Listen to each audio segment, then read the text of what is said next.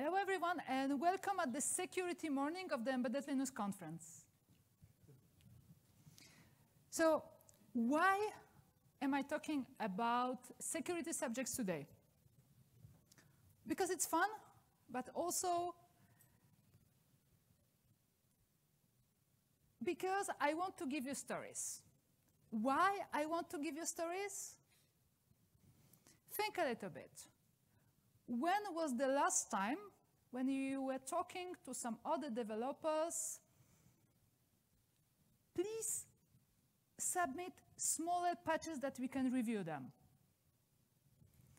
Please do not leave that root access to this device in the production image. Please do not touch that hot oven. We all do that. And what happens after that? Quite often they actually do it. So I frequently use stories showing what happens if you do a bad thing and what kind of a disaster can happen. And in this case, it frequently helps. So I'm going to give the same thing to you. And then who am I to be talking about that? This is what happens when people ask me to choose a label. So I'm a security person consulting as a security expert for multiple projects. Um, I do trainings, but I'm also a developer by education. So I'm mixing security world and the development world. And my picks for today, absolutely personal choice, Brick Trains, HTTP2, Signing Keys Leak, Linux kernel, and the XZ. Well, couldn't, couldn't stop myself from that last one. But let's start from some fun brick trains. Just wondering how many people have heard about this one before. So the whole story, it actually happened in 2022, but the presentation of the security researchers was done in 2023. Uh, from what I know, they still haven't published a paper that they were promising, but well, I'm do doing with the resources I have.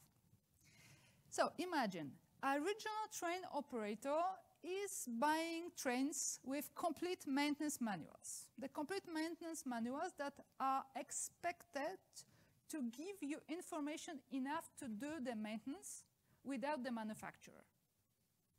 Apparently, they are a few hundred pages long, or maybe more.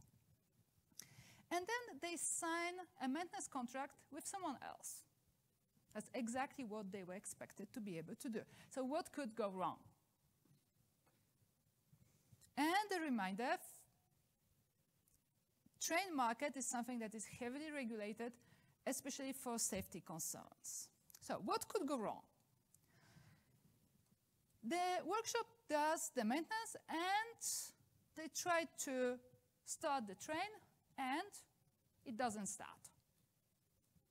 First train, second train, third train, they are just not starting. So someone from the workshop became a little bit suspicious about what was happening, it, and they got in touch with a reverse engineering group called Dragon Sector. And what happened after is that the story hit local and international news. They have presented at the Chaos Congress, but I'm going to do a short overview of what happened. And it's Linux related because apparently those trains have Linux boxes on them. So what they have found, they have found locks. They have found that the train is not going to start after a long stop.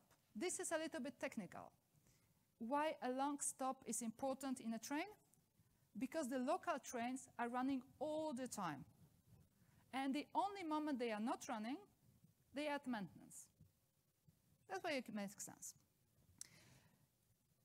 The trains were breaking after a GPS position map. And there were a, there was a list of conditions for those GPS matches. The researchers have plotted it on the map And what they have found that, surprise, surprise, those positions match with workshops of the competitors of the manufacturer. Surprise, surprise. There was also a lock on a date.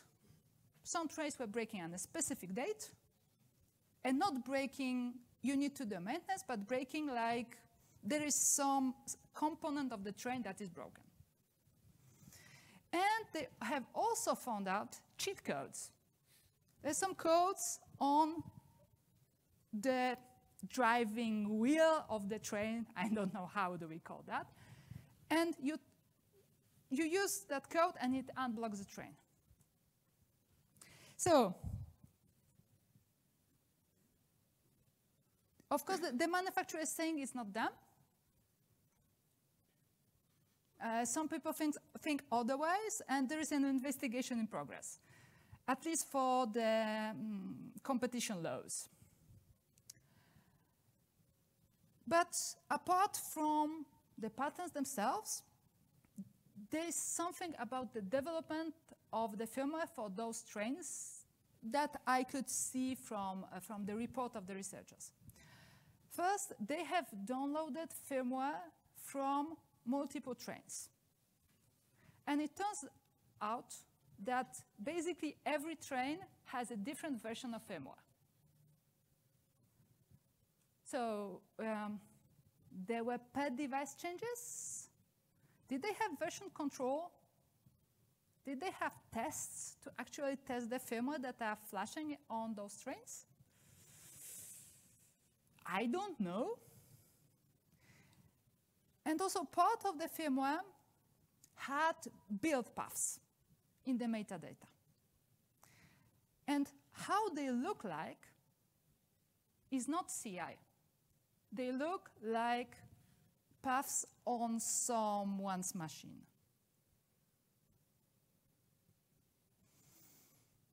So we can have some doubts about the quality of the process of the development, right? And then trains are certified. So the question is why the certification didn't spot it? I don't have access to certification documents, so I, I'm not able to say what they are checking. But that's, that's an interesting part. And the last one, the ethics of the people who have put those conditions in the code.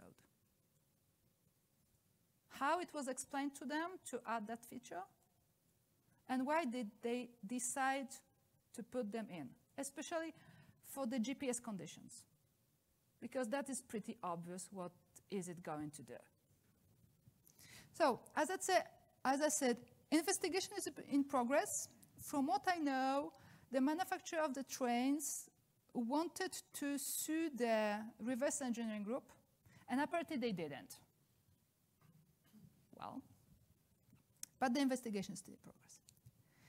And then HTTP2.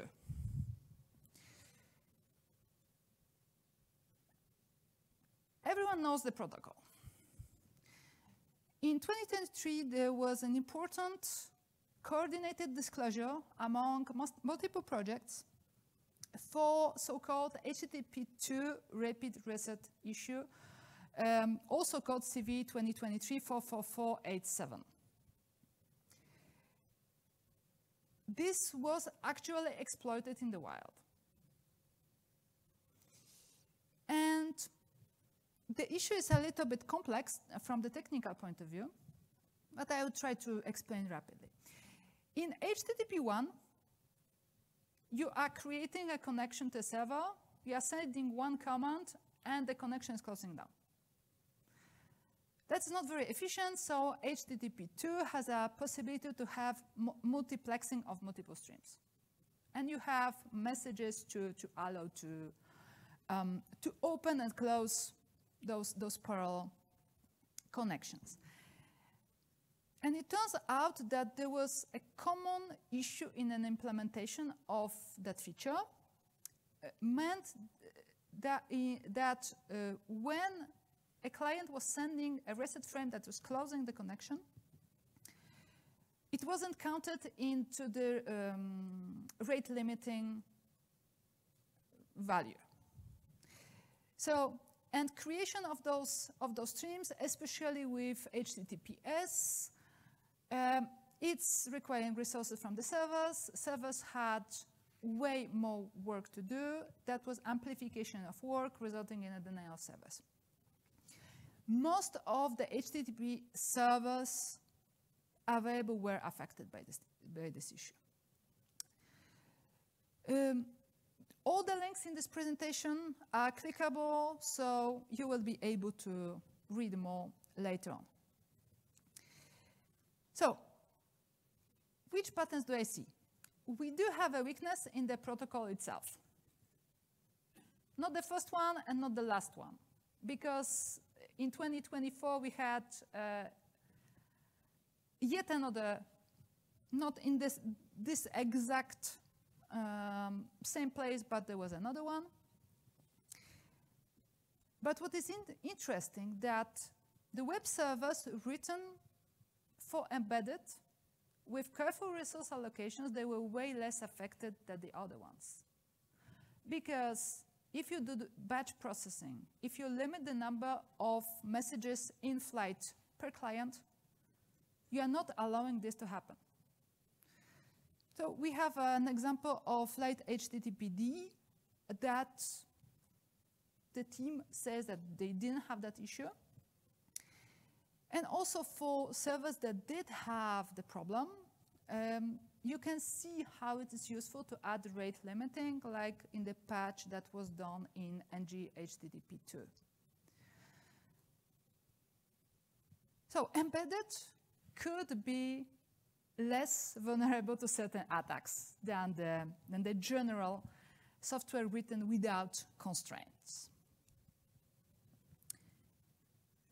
Now we are going to move to a different, different type of a story, also technical and quite fitting for all embedded applications because of secure boot.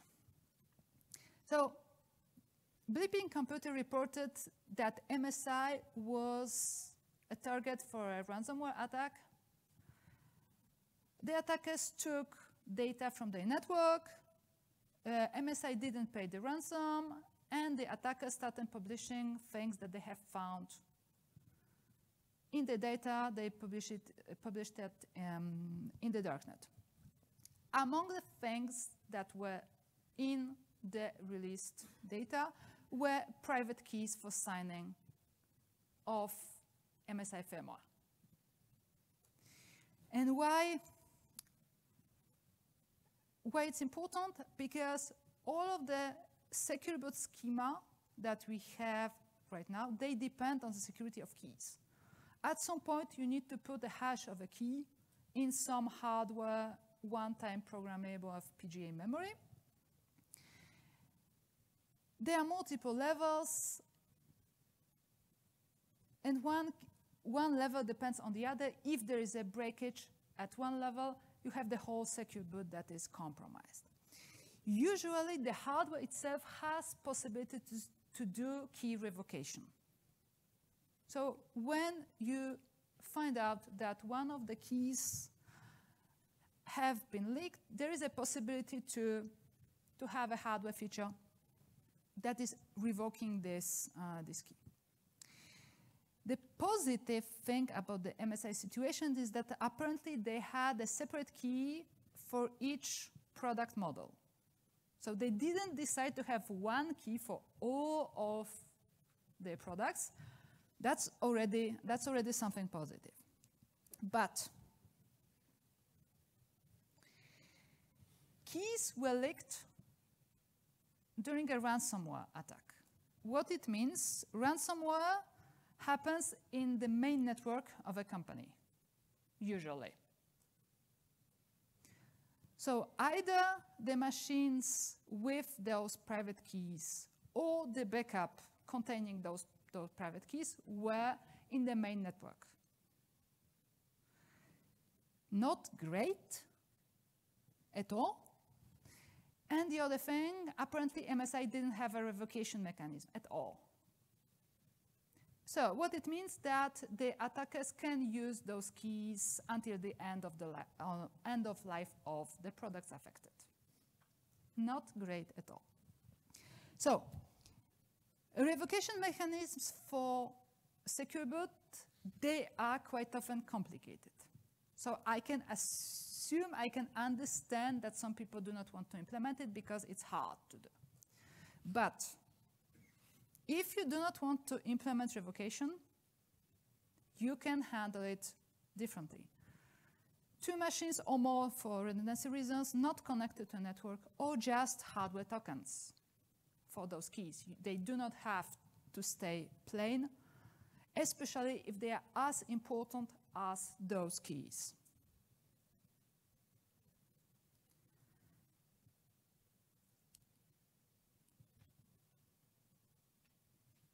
No.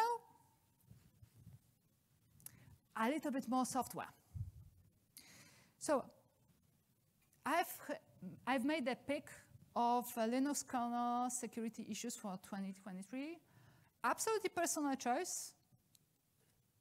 First one, uh, 2023-2163, which is a possibility for incorrect functioning of the BPF verifier that could be marking some programs that are not correct as correct.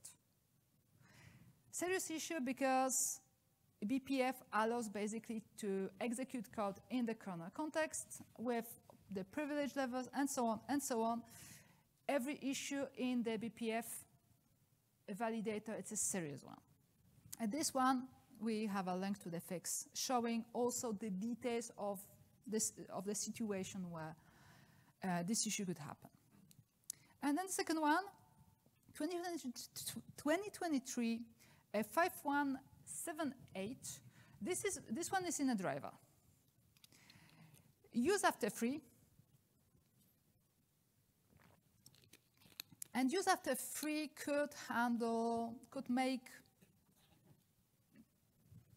execution could do privilege escalations, also different things could happen.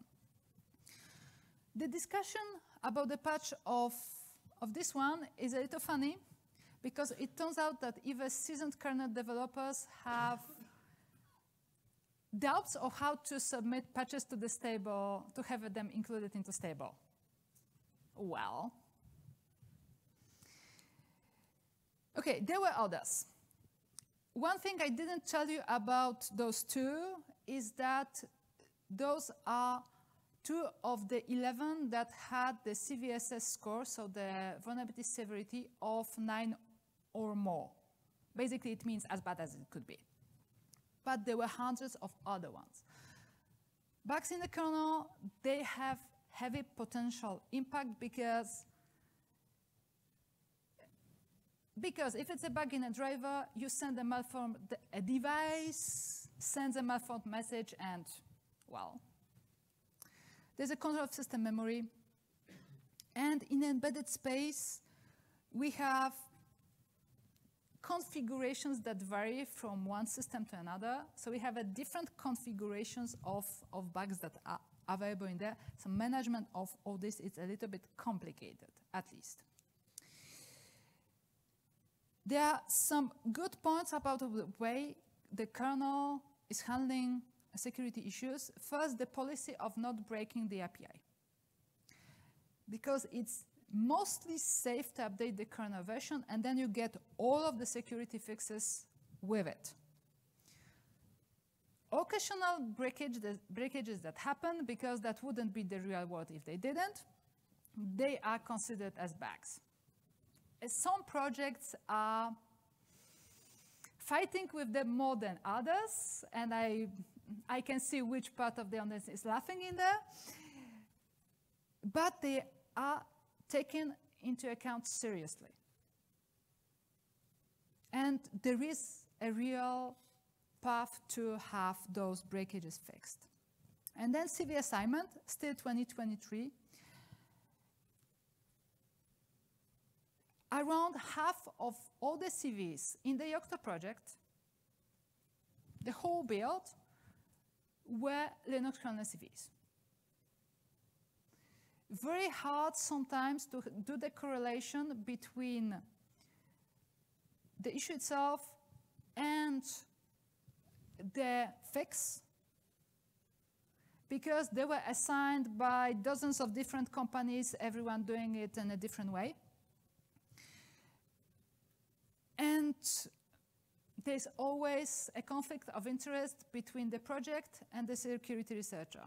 The security researcher wants a high severity CV.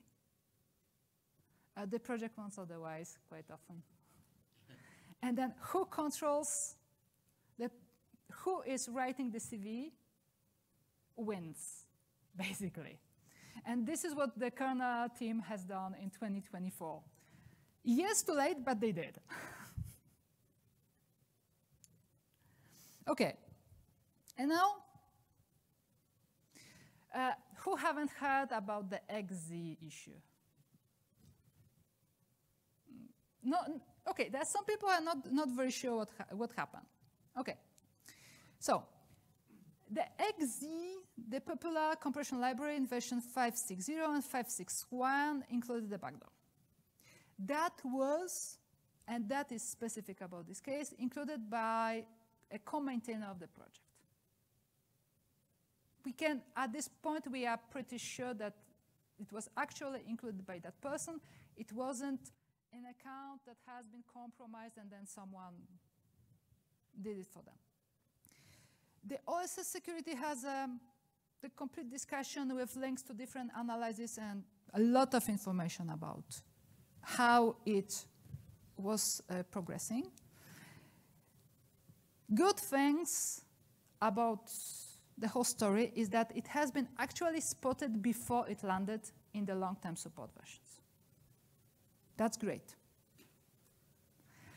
And on our embedded side, our various build system, libcs, and all architectures and all other things like that, they can be helpful. A fun fact is that the Yocto project hasn't updated the XZ to 561 because it broke the build. It broke the build. Richard didn't understand what's happening. It looked strange. So he went to to doing other things. But actually, it could have, it could have been spotted in the Yocto project if someone had enough time to do the investigation why, why it is producing strange build errors. So it wasn't just luck that it was spotted by that one person. There are some other protection ways and how we could have spotted this one before. And what we can see in this issue, this, the sole maintainer with high workload, as usual, um, funding issue in the project. So absolutely classic. But then we also have the code of the exploit that has been obfuscated and hidden in binary data. So that was, that was really, really, really well done. How many of you understand M4 scripts? Mm, kind of two? And that's the issue. Include a backdoor in M4 scripts. Nobody is going to review that. No way. No way people are going to review it correctly. So an attacker can consider doing an exploit in the most obscure programming language, maybe doing M4 with a little bit of sed, Perl, and I don't know what else, to make it completely impossible to understand for someone. Lessons learned, um, use readable languages for build systems. Okay, the conclusion time.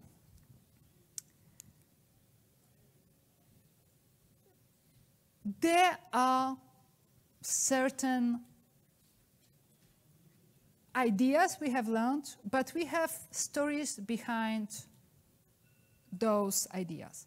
The protocols may have bugs, may have elements that are not clearly defined as HTTP2, but if you are implementing them, consider different situations that may happen. The protocol is not protecting you from everything. And attackers may actually send something that is not according to the protocol. And then what is your code going to do?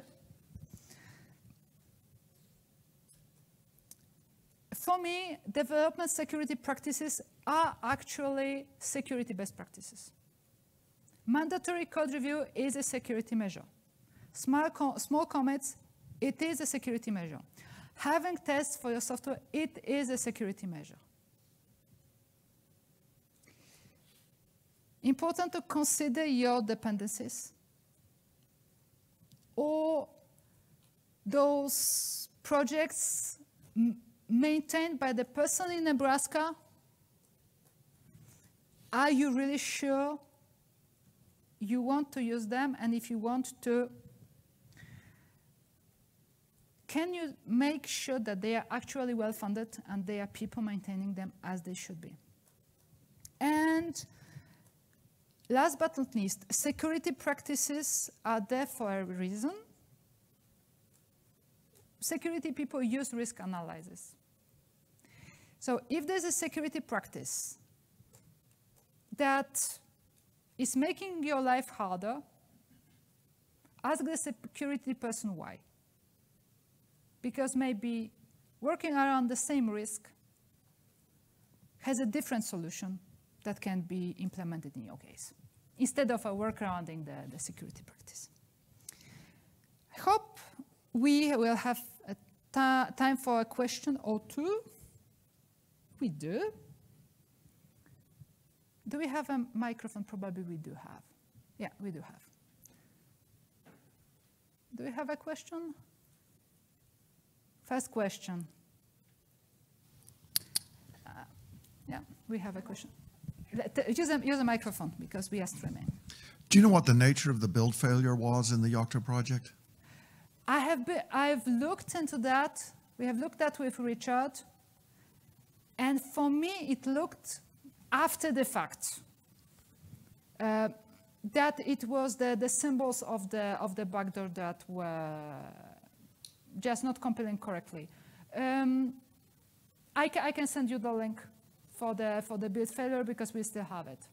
Yeah, I mean, it would be fun to make sure that we catch it if that happens again. So Yocto reconfigures. Everybody else. Uh, we can. Could you could you could you speak to the microphone? Or? Yeah, it's it's here. Yeah, yeah, with microphone for the streaming and the recording. Yeah, so Yocto reconfigures before running the configure. And I think um, usually most of projects run the configure that's provided by the you know project, and that can catch all sort of uh, errors, or you know it reruns the M4 scripts, and so that catches a lot of these things. So I have a different question. Uh, when you were talking about the bricked trains yeah. and the certification, and you put a question mark next to it, right? So, as somebody who's been through a lot of various certification processes, if you hire, you know, this agency, right, who is now they are the ones that are signed up to uh, be able to give you that stamp. It's in their best interest to get you that stamp so they can keep taking your money. So I'm wondering what your additional thoughts are about the, that process and what we could do to improve that type of situation because it's pretty clear from that from what you shared that this should this should have been caught by the certification process. Yeah, I would assume that there was no complete code review during that certification because if there were, that should have been seen. But a certification with a code review is way, way more expensive than the certification with a checklist. So I don't know how it works for trains. I would assume there was no, there's no source code review in this case. a source code review as it's for a certification would probably catch. Um, but well, can we do uh, such certification for all types of critical software? Probably not. So uh, to answer your question, I think um, uh, the there's a punishment, right, for the certifier, right? Uh, we don't have to impose one necessarily because now their reputation is severely damaged. Uh, so there may be a market effect on on that company to dissuade them from being lax in their analysis. Do we have additional questions? Yeah. Maybe I missed it. I just want to know what the change are gonna to be done in 2024 regarding the CV in the kernel and their tracking. Okay, so, so what happened, what happened uh, in the Linux kernel in 2024? Uh, before, so in 2023, the whole 2023, uh, the Linux kernel had a policy to not assign CVs to issues. As security researchers who do security work on the Linux kernel and everything else, they want the CV numbers because that is something that they put in their CVs. They were asking different CNA, so the uh, numbering authorities that have a scope of we assign CVs to, um, to all issues by uh, our researchers, no matter which project it is, basically. As a result, it meant that it was the security researcher who was writing the CV description and not that developers have fixed it. It meant that when I was analyzing the flow of, of the CVEs for the Linux kernel, sometimes it was hard to understand which CVE is which commit. Because there was no, there was no link anywhere. Quite often it was written in such a way that it was hard to understand. And just you, you didn't know. The new policy is that is the Linux kernel assigning the CV numbers, and they only assign when the issue is fixed. So the situation is way, way more clear.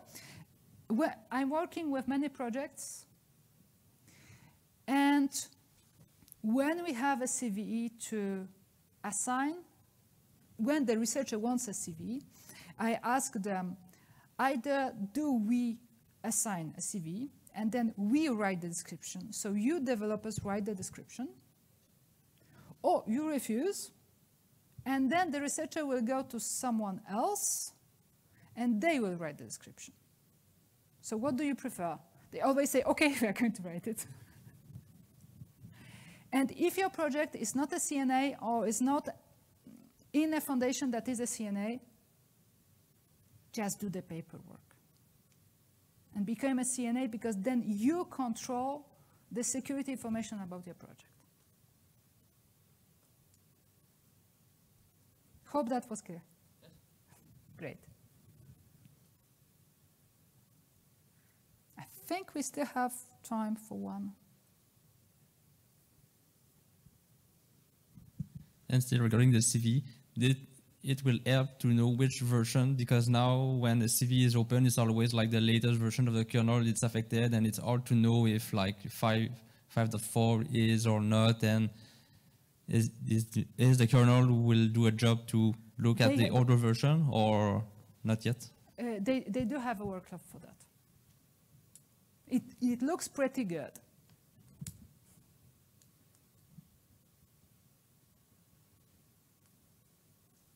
Okay, if there are no more questions, we are going to finish the presentation for today. And uh, if you want to continue discussion, there are ways how to contact me. The presentation is online already with all the links that are clickable.